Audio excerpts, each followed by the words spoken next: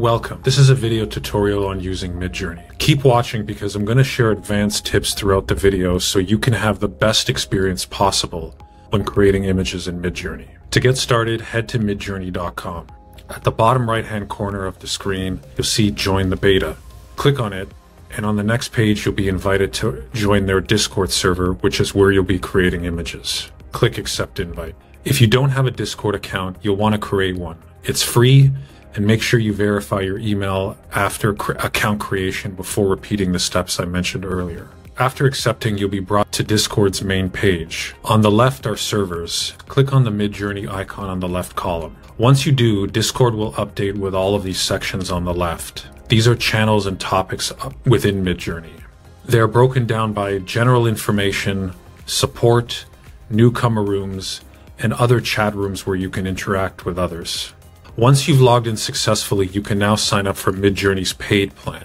While navigating the server and viewing images creators have made is completely free, in order to create images yourself, a subscription is required.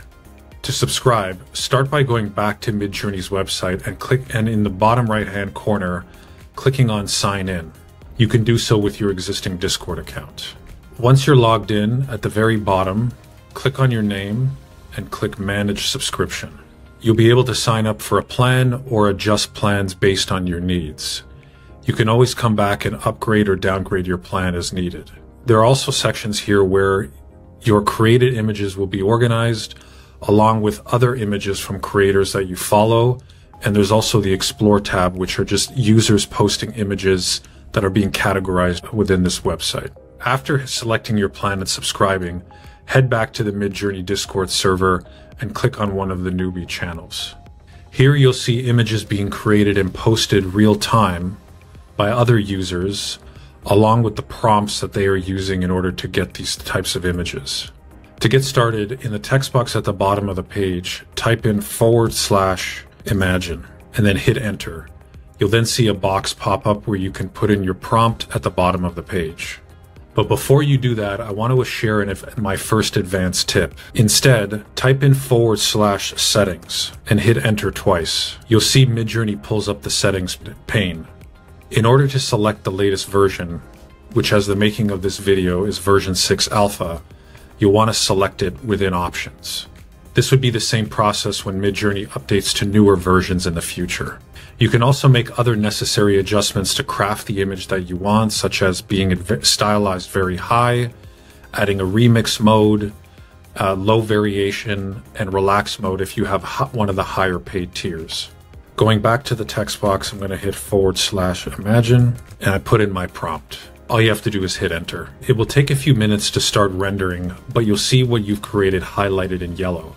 Once it's finished, it will give the appearance that it has disappeared from the page. You can scroll down and you could find it because what Midjourney does is it finalizes created images in chronological order based on when a user puts in their prompt. But here's a tip. Up at the very top, there is an inbox button. If you click on it and you click on mentions, you'll see the most recent images that you've created. All you need to do is click on the jump button right here and it'll immediately jump to your most recently created images. I'm going to show you how to further refine images, but before I do that, I want to share with my second advanced tip if you're struggling to create a prompt for your image. A good text prompt should consist of six components. The style, which is which would be for example cinematic or anime, the shot, whether it's close up or far away, the subject, describe what the character is in the, in the image, the action, whether that subject is running or jumping, the setting, where is this actually taking place, and the lighting. Is it happening at day? Is it happening at night? Is it studio lighting, etc.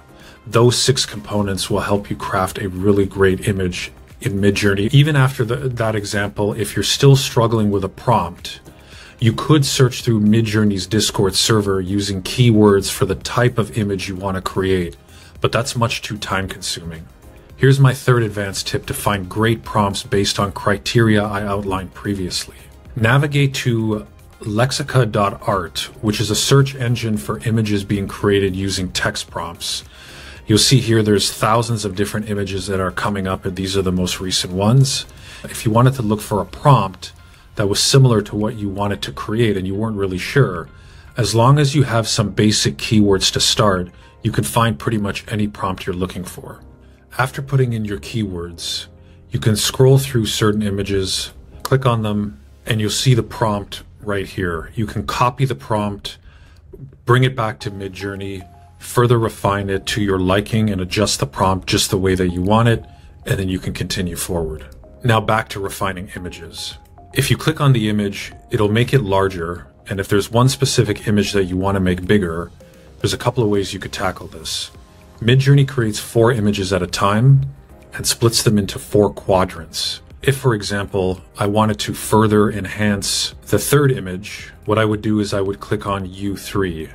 U stands for upscale. So for the first image, U1, U2, etc. If I wanted to redo the images and do another variation of the image, let's say I specifically wanted to do a variation of the second image, I would then click V2, which stands for variation and so forth. And then if I just wanted Midjourney to just refresh the image as it is, then I would click the refresh button here. I really like image three, so I went with that for upscaling. Once you make your selection, what'll happen is Midjourney will start the process of making it larger. But I do want to call out, you will have to scroll down again because it's putting the creation in order with other user requests. As I mentioned before, you can go back to the inbox button and then just click on your most recent image when it's done and just jump directly to it. So here's the finished image from the third quadrant. It can be further refined by upscaling even further. I can change the variation to make it more subtle or to make it much stronger. So that's a variation of the image. Varying region gives me the ability to only change a specific portion of the image that I wanted to enhance. So for example, if I wanted to focus the, the imagery behind this person, then I could actually vary the region of that particular part of the image. With the arrows, this is panning and selecting a certain arrow will pan down. And then if I want to favorite it, I can favorite it and I, I can click on it and it'll open it up in another tab. For this example, I clicked on uh, panning down. And what you'll see when Midjourney is finished is the panning feature created a much larger image which incorporated the person's entire body rather than just having a close up. But if you wanted to save an image, you could click on the browser. It'll open it up in a browser. You just simply hit right click and then save image as, and it saves it to your desktop. But what if you wanted to keep your creations private? Here's my fourth advanced tip. On the left hand side, there's a plus tab. Click on it and select create my own server. It'll ask you some subsequent questions on how you want the server to be built. Go through that, add a photo if you wish, name it, and then hit create. Once you've created your own personal server, go back to Midjourney's page, but this time on the right, you'll see here there's, there's a Midjourney bot. Click on it and click Add App. What you'll then be prompted to do is select your specific server, you hit Continue, you select Authorize, and then the bot will be added to your own personal Discord server. Now, if you click on your server, you'll see at the bottom the Midjourney bot is already initiated.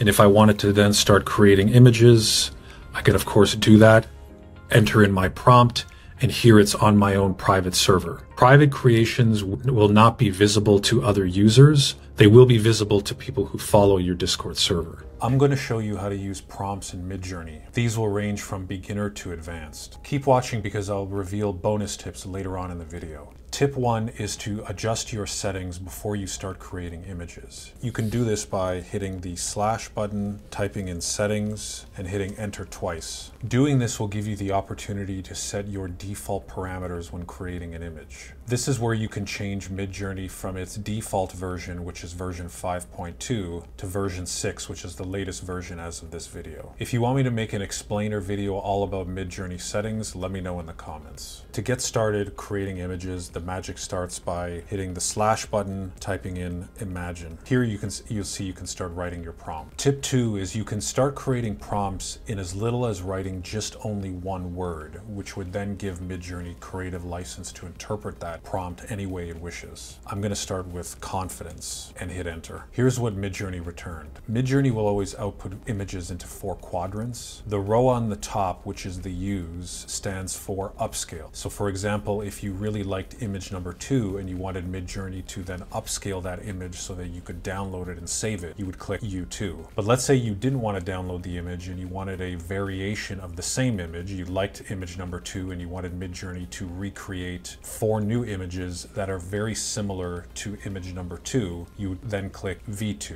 and so on and so forth for the other images. This button here with the circular image is the reroll button. This button gives Midjourney the opportunity to recreate the prompt that you just put in. Prompts can continue to be built by adding more words separated by a comma. You'll want to avoid punctuation when creating prompts because as of the making of this video, Midjourney currently does not recognize punctuation such as exclamation marks. Tip three is changing the aspect ratio. How you would do this is adding a dash dash AR, hitting the space bar, and then for 16 by 9, which is for YouTube videos or TVs, you would then type in 16 by 9. Midjourney recognizes dash dash commands as parameters, and I'm gonna share more parameters with you over the course of this video. For TikTok videos, Instagram Reels, and for YouTube Shorts, you would do the reverse. You would do it uh, the aspect ratio 9 by 16. Tip four is the parameter known as stylize, which for Midjourney you would type that in as dash dash S and then a space, followed by a number anywhere between zero and a thousand. A lower number will keep your image closest to the prompt, whereas a higher number will have much more style, but adhere less to what your original prompt was. Here I have an example of 80s cat inspired flying on a spaceship through the galaxy and I kept the stylized as zero and you can see that. I did the exact same prompt except the difference was here I put the style as being 800 and you can see Midjourney just completely takes it and just runs with it and creates something drastically different than originally intended. Tip five is the parameter for quality, also known as dash dash Q, and adjustments can be made from 0.5 all the way up to one. Quality, I would type in Roman Gladiator, see what we get with that, dash dash Q space 0.25. Here's what Midjourney returned. Let's do the same thing with one, and here's what, what Midjourney returned. Tip six is the parameter chaos, which is a, a dash dash C followed by the space bar, and it goes from a number of zero to 100. The higher the number, the more varied the images will look to the original prompt, and the lower, of course, the more it'll adhere to the original prompt. So I'm gonna do first uh, dash dash zero, for a basketball player is running down the court. Here's what Midjourney retur uh, returned. And then let's do another example, which is all the way at 100. And here's what Midjourney returned. So drastically different than what initially what was shown when it was more closer to the original prompt. Later in the video, in addition to the bonus tips that I'm gonna share with you, I'm also gonna share a resource. So stay tuned for that. Next is uh, tip number seven, which is the tile parameter, which is dash dash tile. It gives you the, the ability to create seamless patterns in, that can be used in art or in clothing or other areas where maybe you might be selling a product and you want to create a, a consistent pattern Currently, it doesn't work in version 6 yet. You do have to default to version 5.2. In order to get back to version 5.2, just follow the steps that I talked about at the beginning of the video, which showed you how to get back to settings so you can make those changes. But let's show an example. So here I'm going to do 90s space dash dash tile. Here we go. And this is the image that Midjourney put out. I like this one in the top right, so I'm going to go ahead and upscale it. And here we go. You can also use an online texture checker to validate whether or not the pattern is completely completely seamless and I'll show you that. I'll put a link to this website in the description as well, but you can see here as I zoom out and as I zoom completely in, the pattern is completely seamless. Tip eight is adding in a colon in between two words. What this will do is this will tell Midjourney that within the prompt that you're creating to treat the words as two separate things within the same prompt. I'll show you what I mean. So first let's create an image of a bulldog. Here's what Midjourney put out. Now to add the colon, we're gonna go back to creating a prompt. This time we're gonna type the word bull. We're gonna input two columns, hitting a space, followed by the word dog, and then we're gonna hit enter. So as you can see here, now Midjourney has actually incorporated images of a dog and a bull together rather than just keeping it one straightforward uh, term. Tip number nine is the seed parameter. You'll still wanna stick with version 5.2 for this one. Seeding gives you the ability to create a new set of images based off of an original image set of images that you've already created. So for example, if we take the bulldog one, let's say we really love this one and we want to keep it, but we want to create a new prompt and we want to use this same style. What you would do is you would go up here to the add reaction button, click on it. You may not see the envelope right away, but if you search for it, you want to click on the envelope button. What this will do is this will initiate the Midjourney bot to send you a direct message on Discord and you'll see it's come up right here. Click on it. You'll then see here we have the seed number. With the seed number what we can do is we can create a new prompt and then add in the seed number so it keeps us the same parameters. And then to keep it, we would type in dash dash seed space followed by the seed number.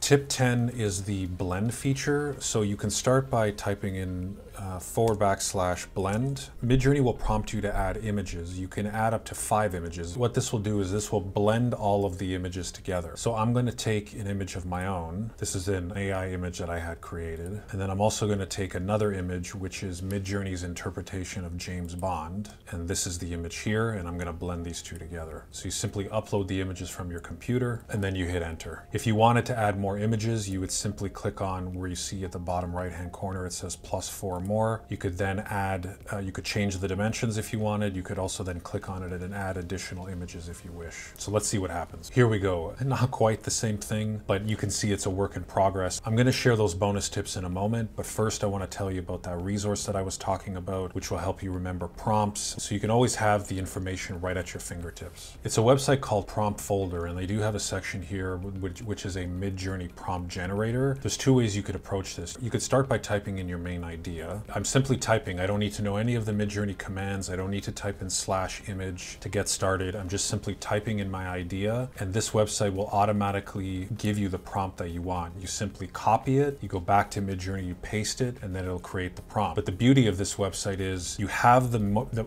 most of the major parameters. If I then wanted to change this prompt that I'm creating and I wanted to add in a 16 by 9 aspect ratio, I wanted to make sure that it was locked into version 6. I wanted the quality to be a one, stylizing and so on. You can even go as far as to select the specific style you want. So if you wanted it to be a cartoon, I would click continue here. If I wanted a specific kind of lighting, if I wanted the camera angle, if I wanted to add in certain colors, so on and so forth. So you can see how large this prompt has now become. All I have to do, click copy prompt, go back to Midjourney, hit paste, and, and I can immediately start having Midjourney generate the prompt. The bonus tip that I want to share with you is something called prompt stacking. I've upscaled one of the James James Bond images that Midjourney initially created before I did the blending. If you click on the image and you see here where you go to open in web browser, right click and copy link address. You can then go down to Midjourney, type it Imagine to start the prompt, paste the link of the image, and then start adding in additional words to further enhance the image that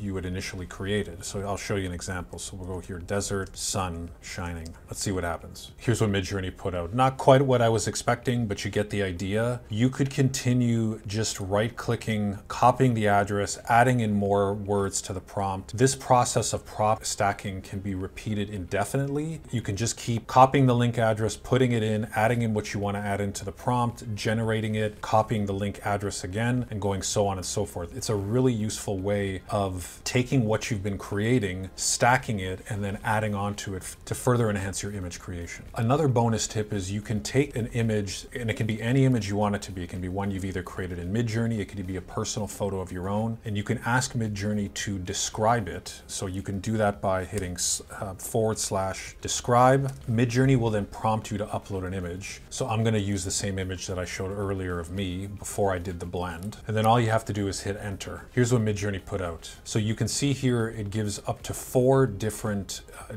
descriptions. You can even take these descriptions and use them as prompts and then further refine them and tweak them to your liking. It's a great way if you're finding that maybe you've got a bit of writer's block, take an image that you really like, upload it, ask it to describe it, and then you can take the prompts and you can tweak them as you wish. Right now I'm going to show you how to create characters consistently in Midjourney. You'll be able to create characters that can be used for social media, storytelling, comic books, or anything else that you can think of. The first step is to generate a series of reference images that Midjourney can use later so they can be put into different scenes. Ideally two to five reference images. To To get started, I have a prompt already made and I'm going to use that, but feel free to take this prompt and tweak it to what works best for you. Once images are created, you'll have to play around with the prompt to get it to your liking. As you can see here, I've created a bunch of different reference images. I'm going to go with this one because it has three clear angles to work with. But if you wanted to generate even more images that are that are very closely representative of the newly created avatar you just made, you would click here very strong. And as you can see, it creates a number of different images that are very closely representative of what was just created. Next, you want to crop out each angle into individual photos. Most computers and cell phones have built-in cropping tools to help with this. I'm using the one that's built into my computer. If you don't have access to one, you could also do an internet search for an online cropping tool and that can get you started. When finished cropping, click the plus button at the bottom to upload your images to Midjourney.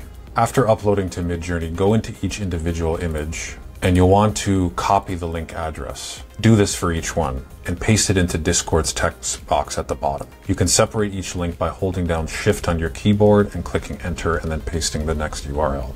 Select all of the URLs, copy them, delete. While in the text box, type in slash prefer. You want to go with prefer option set. In the option, you want to type in the name of your character. For me, I'm going to call it Mia. Beside the name, you're going to click on plus one more. You're going to click on value. And here is where you will post your URLs. What this does is this tells Midjourney to save Mia as the consistent character. Let's create a new image. Here's the newly created image. It won't look like your character just yet. Here's what to do in order to ensure that your consistent character is in the image that you create. I'm going to upscale the first one, and then I'm going to click on vary region. If you don't see the vary region button here, here's how to enable it. Go to Discord's text box at the bottom, type in slash settings, hit enter twice, and make sure the remix mode button is enabled. Once you've done that, refresh, create a new image, and you'll see the vary region button available to you to use. In order to get my consistent character into this image, I'm going to click on the lasso tool, and then I'm going to trace around her head, and then I'm going to type in dash dash dash Mia. When creating prompts in Midjourney, Midjourney uses dash dashes as parameters in order to fine tune an image. Now I'm going to hit enter. And here we go. So I'll show you what the results are.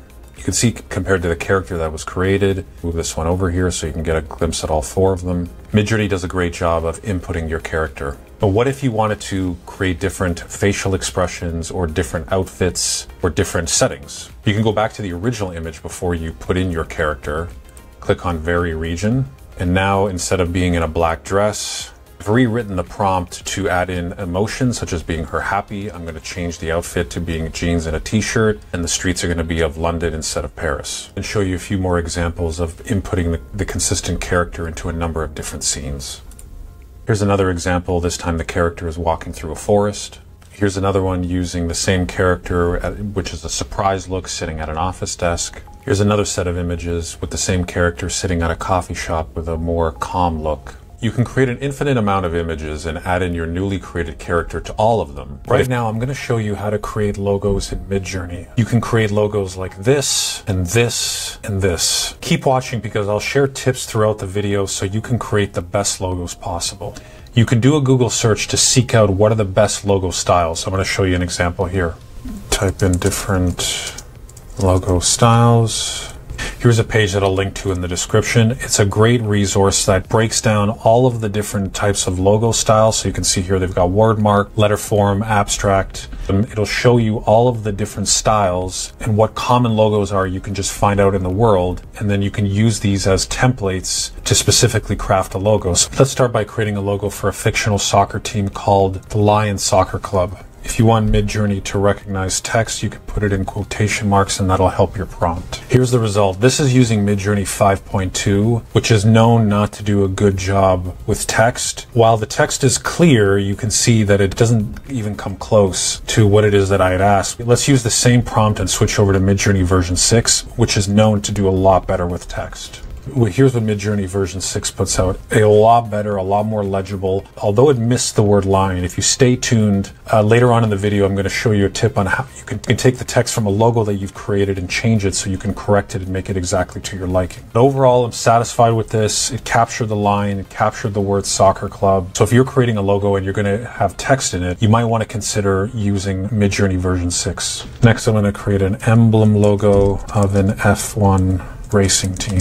Overall, a great result. I really like the third one in the bottom left hand corner. Great styling. And if you wanted to generate more variations of an image, if you were to click on V3, this will initiate Midjourney to create four new images modeling after the third variation. Another thing that Midjourney can do with logos is you can tell Midjourney to create a logo in the style of something. Let's look up famous logo designers. Here's a website that I'll link in the description, but this website has the 20 most famous logo designers and their iconic work over the years. So as you scroll through them, you can see here, here's Paul Rand. He's responsible for IBM, UPS, and Ford. If you go to Peter Saville, you've got Burberry, you've got uh, Massimo Vignelli, who's done American Airlines, and you know, so on and so forth. Let's create an image in the style of Massimo Vignelli, and we're going to create the image for a computer microchip company, and let's see what it comes up with. And here's the result. Minimalist, flat, but stands out, sharp detailing. Overall, I really like the simplicity and how bold these images look using the style of Massimo Vignelli in order to get the desired result. Midjourney can also do images of 3D characters, so I'll show you an example of this. Tell it to create a 3D logo of an iPad app that teaches kids how to draw. And here we go. Really stylized, very, very cute and it's something that you could use for anything that you can create. It, Midjourney does a really great job of 3D rendering, especially when it comes to just icons. But what happens if you loved one of these images and you wanted to remove the background? Here's my next tip. You can simply type in background image remover online. There's a number of these here that do give you options for free, but they're limited until they put you on pricing. I prefer to use Adobe's background remover because all you have to do is just create an account, which is completely free. You don't have to pay for this at all. Adobe will automatically remove the background. After you're logged in, you hit download. You have your logo with the background removed. So let's say you created a logo and you, really liked one, but the text is completely off and you want text in your logo. What do you do? What I'm going to show you now is another tip which I want to give credit to Matt Wolfe. He did this in another video that he had made. It's using Canva, which is completely free to make changes to the logo so that you can put the text that you want and you can correct it accordingly. I'm going to show you that right now. So when you get to Canva, you can log in with your Google account or you can create an account completely for free. I'm going to go here to create design. I'm going to upload my image. I'm just going to click on on use in design, go to custom design, create a new design. What I can do is I can click on the image, I can go over to text, and I'm going to go with a text that I feel is similar to the one here. I'll go to this one. I will lay it on top. If I want to ensure that the color scheme is followed the exact same way, all I need to do is I need to highlight the text that I want to make changes to, click on the color, click on the plus sign, and then use the eyedropper tool here. And then I'm just going to hover over color of the text in the initial logo and you'll see it automatically updates. Next, we're going to go to elements. We're going to go to a rectangle. We're going to bring it in. We're going to change the color to black. And then here, we're just going to simply resize it. And you may have to play around with this as you go. So now I've completely removed the text that doesn't make sense. Here, I will edit it, be what I need it to be. And here we go. I have my completed logo. The additional text has been removed. I've added in my own text, which is similar. I've added the same colors. It's one way that you can change text in logos completely for free, just creating an account with Canva. I'm going to show you how to create coloring pages in Midjourney. So you can put together your own coloring books for Amazon KDP, Etsy, or any other publishing platform. You can use these coloring pages to create coloring books for your kids, or you can just print them out and develop ones for yourself as an adult coloring book. Keep watching because later on in the video, I'll show you how to take these coloring pages from Midjourney and create a coloring book of your own.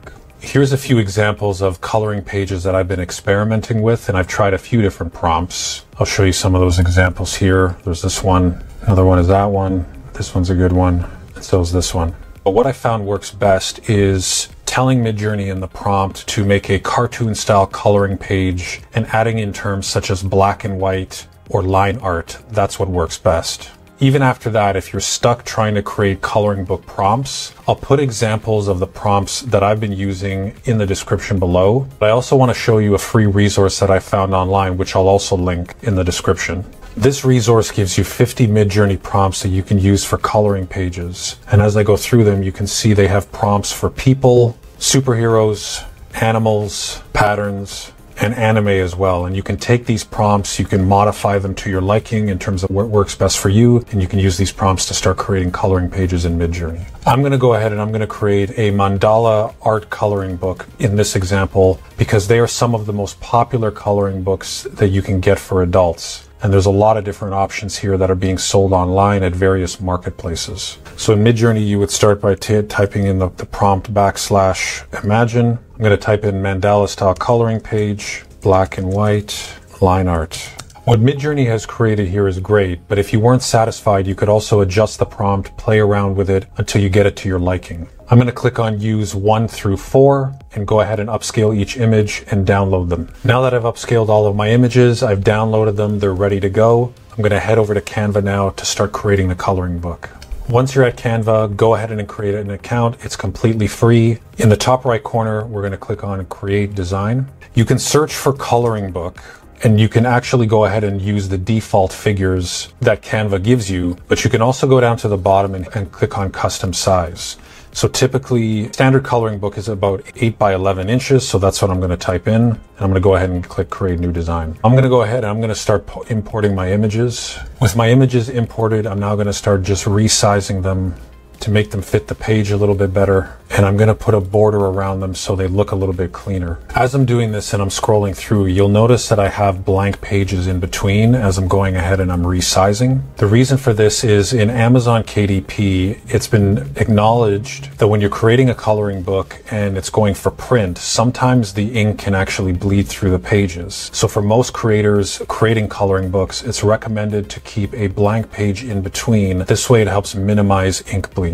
So I'm going to go ahead and I'm going to finish adjusting this and adding the borders and I'll, and I'll get back. I've gone ahead, I've edited my photos, I've put a border around them. Of course, for you, you would have to decide what the best dimensions are and how you would like to lay it out and space it out. But this is finished, it's ready to go, and now all we have to do is download it. So I'm going to go to File, I'm going to go to download. It's recommended that the file type be changed to PDF print. When it comes to the color profile, it depends on what you're using the coloring book for. If you're going to sell it purely digitally, RBG would be recommended. For CMYK, which is the best for paper printing, Canva does require a pro subscription, but you can sign up for a free trial and then cancel at any time. So now that we've gone ahead and we're downloading our coloring book pages, next we need to create the cover. I want to give credit to Danny on Demand, who showed how to size the cover page and edit it in Canva in a video he made. Amazon KDP has a book cover calculator that you can use to determine how large your cover should be. You are required to fill out some basic information, but once you do that, the Amazon uh, book cover calculator will give you an estimation on what your cover should be in width and in height. So I'm going to go ahead and take the default options here and I'll get back to you. Much in the same way, we would just go back to create new design. I'm going to change the format to inches and I'm putting in what Amazon KDP's book cover calculator recommended. Once you have your cover page front and back ready to go, you can go back to mid Midjourney and you can have Midjourney create a color version of the coloring page that you're working on. I've already done this and I'm going to upscale this so I could use it for as my cover page. All that's required is just clicking in and dragging the image and I'm now going to just start spacing it out. You'll have to adjust the image in order to make sure that it's completely on the cover. In order to get the exact color of the back image, which is matching the front image, what you want to do is you want to highlight the entire page and you can see here it's highlighted in purple you would click on this background color button. Then you would click on the plus sign and then you would click on the eyedropper and then you would just hover over the color that you want. Click down and it'll immediately make the back cover the exact same color. You'll notice on the left hand side there's a text button. And if you click on it, you can select text that you can use to, to start adding text to the cover. If you're scrolling through the text and you see a little crown, this is text that is only available in the pro trial version or with a pro account. But you could easily go through a lot of different options and just choose a free text to use. So I'm going to go ahead and I'm going to do that. You can take the text templates and make edits to it. So I'm going to make some edits. I'm just going to ungroup these. I get rid of this one. And then for this font, I'm just going to change the size. And then to change the color, you can simply click on this text color button here and you're presented with a number of options. And then if you click on the three dots, you can duplicate it. And then you can go ahead and type in the next text. So you can just grab the corners and resize it. I think what I'll do to make the text stand out a bit more is I'll go to elements. I'll take a shape. And then I will change the color to darker color.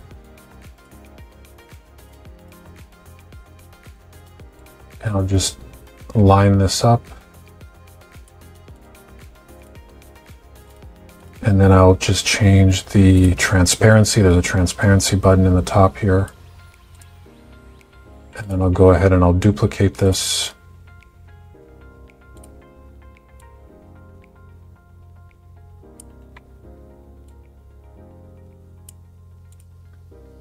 And then if you run into a situation where it's laying over the text itself, all you have to do is right click, go to layer, send back, and then it'll put it behind your text. Got the cover made. Most coloring books, uh, what they will do is they will take sample images and they'll put them on the back of the cover and just put some very basic text. So I'm going to do that very quickly and come back. So here we go. We've got the front cover, we've got the back cover done. We've laid out all of the images and all of the text. And I've on the back cover, I've intentionally left some space here at the bottom because typically when you're uploading it to a place like Amazon KDP, you can get your own barcode or you can have them assign you a barcode. And then when the images are uploaded, they will actually put the barcode on the back of the book. So that's why I've left it blank. And to download it, you would do the exact same thing. You would go to File, you would go to Download, you would then change it again to PDF print and then choose RGB or CMYK depending on what your use case is. If you're looking for even more on Midjourney, I've created a playlist that'll show you comparisons between other image creators such as DALL-E 3, Stable Diffusion, and Leonardo AI. Click on this playlist right here.